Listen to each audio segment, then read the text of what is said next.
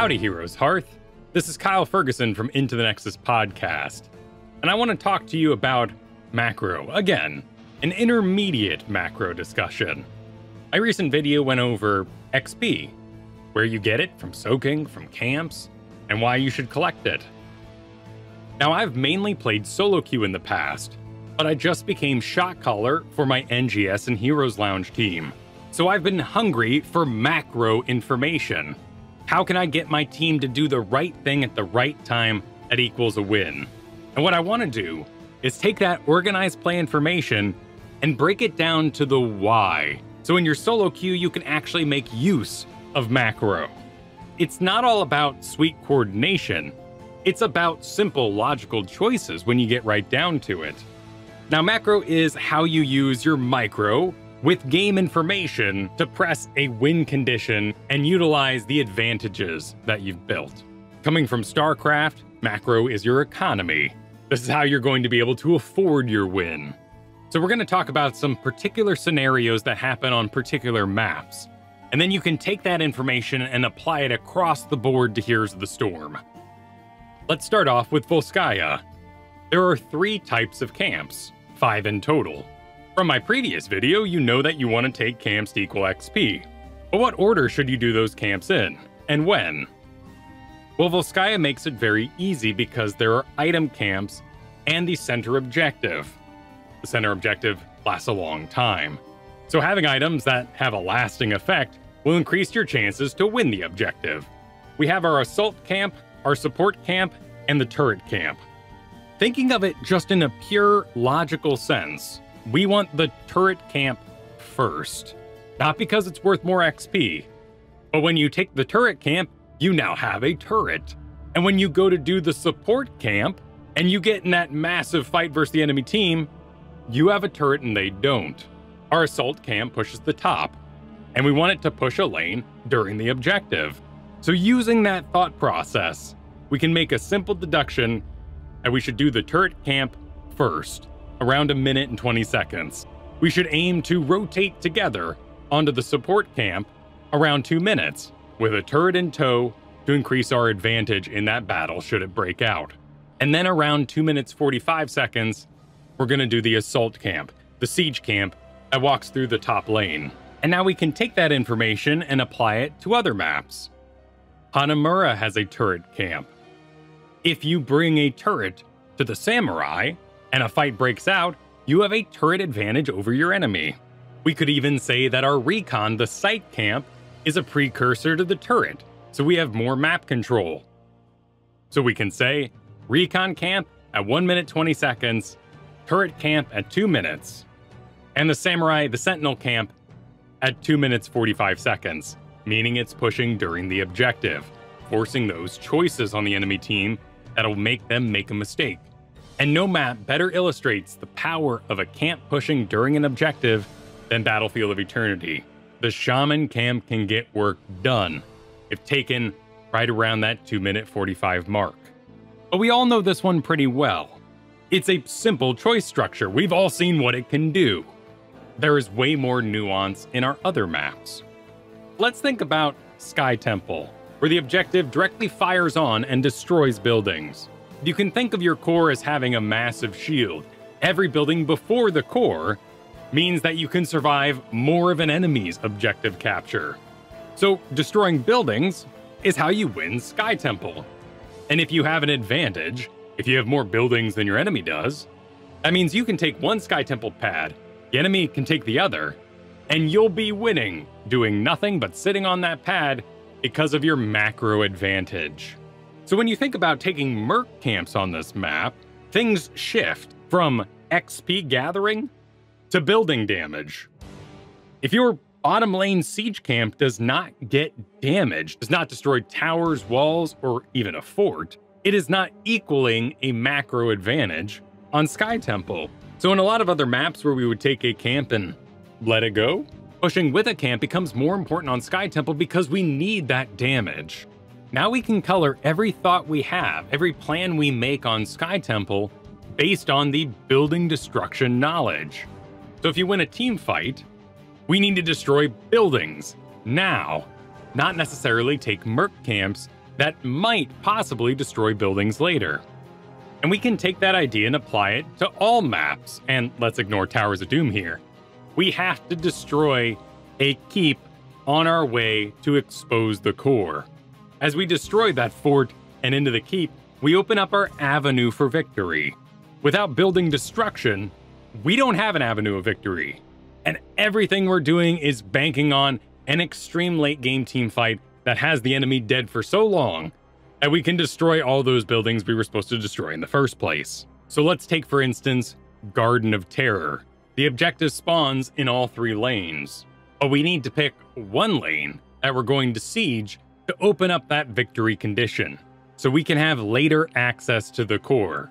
By pressuring that lane together and making use of our objective, we are also pressuring the other two lanes, which must be split and attended by the enemy players. So now we're looking at perhaps a 5v3 scenario, developed because we know we need to make one route to the core. Now, Alterac Pass also has an objective that pushes all three lanes, but the core gains armor based on how many keeps are available, so we play that one slightly differently. And we want to pick the right lane for the job. For instance, I don't want to lead my team onto the bridge in top lane Dragonshire. It is too closed in. We are too weak to enemy AoE on that bridge. I'd much rather use the bottom lane, which has access to two siege giants and a knight's camp. So in the early and mid game, when I'm choosing the lane we are going to pressure with our very first dragon, I want to clear up the bottom lane so I can start that path to victory. Of course, the first dragon's pretty weak, and you'll likely just farm the outer walls and towers. Future teamfights might have other decisions tied to them, such as I want to destroy the top fort on Dragonshire so my solo laner has an easier time. They don't have to contend with an enemy well anymore. I might want to clear out mid, so the enemy doesn't have a base of operations to continually interrupt us when we're channeling the dragon. But ultimately, my goal is to create that pathway to the core. I want you to use every opportunity your team creates to destroy buildings and build that avenue to the core. And stealing enemy merc camps does not really work towards that goal. In fact, there are a few situations where it's a good idea, and there are more situations when stealing merc camps from the enemy side is actually a bad idea. Let's take, for example, Infernal Shrines. You win a team fight, and those shaman camps are darn frustrating. Wouldn't it be great to take the enemy's shaman camp? Well, there's a problem. See, when the shaman camp gets taken on the enemy side, and the enemy top fort is still active, the shaman's gonna start destroying your XP.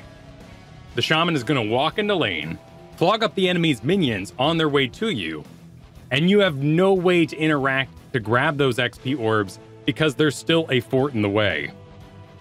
Interesting, right?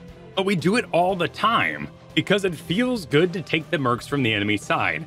Let's take that thought and run over to Cursed Hollow, where a very popular idea after winning a team fight is to take the enemy's knight camp. If the middle fort is active, that knight camp is going to walk straight into the enemy towers and get cleared up rather easily. Wouldn't it be better if we took that time to destroy the middle fort? And then later on, maybe we can consider grabbing that knight's camp. After all, it can give us some spell armor while we're sieging that middle wall, if that's the avenue of victory we want to use. And this is another thought we can apply across our maps. If we take an enemy side merc, we do deny them access to that XP and that merc in lane but it is way more valuable with our time to destroy the fort and then take the Merc camp. Because that'll give us map control and do all those things we just mentioned that are great, stealing XP and stealing the Merc camp. Now I'm spending a lot of time talking about Merc camps and macro because in Solo League it's something that one person can do. One person can make the decision, can have the knowledge to do well-timed Merc camps, to help your team make good invade choices proper rotations are a whole nother beast. So let me introduce an idea of coordinated play, and then we can translate that into Solo League. On Alterac Pass, we know early on, thanks to the minimap, which location the objective is going to be in. Is it going to be top, or is it going to be bottom? In coordinated play, once we know that location, the rotation starts between those two lanes. So we have map control over the area we're about to be fighting in. But you can do a rotation by yourself after all. Let's say in an extreme case you're Zeratul. Where should you be trolling around, looking for picks? Wherever the objective's going to be. In that case, mid and bottom. You will hear so many times from top end players that people in Heroes of the Storm don't know how to macro. But with the tips I've shown today, I hope I've given you some insight as to why we macro the way we do, and how you can make informed choices, good choices during your games. Bringing a turret to the support camp, or don't take merc camps that destroy your economy, your access to XP. And sometimes the game asks us to do things that aren't fun. The winning strategy on Towers of Doom is to sit and occupy the bottom lane. It gives you complete control over the bottom objective, half of the control over the middle objective, and near complete control over both of the merc camps. Asking people to just sit on one pad and not team fight is kind of silly on Sky Temple. Maybe we can help Blizzard to come up with ways to change these maps, to make those merc camps accessible even if you lose the bottom lane of Towers of Doom. But we can also be nice to our fellow players. We can type in the draft and in the game and let them know the strategies we are planning to use. You will notice that a lot of high-end solo league players are really good at typing. Maybe we should take those typing skills and go update the wikis. I was Kyle Fergusson. In the comments below, let me know your favorite macro strategies for Heroes of the Storm. Be sure to like and subscribe here at Heroes Hearth for more videos. Ring that bell as well, and I'll see you next week.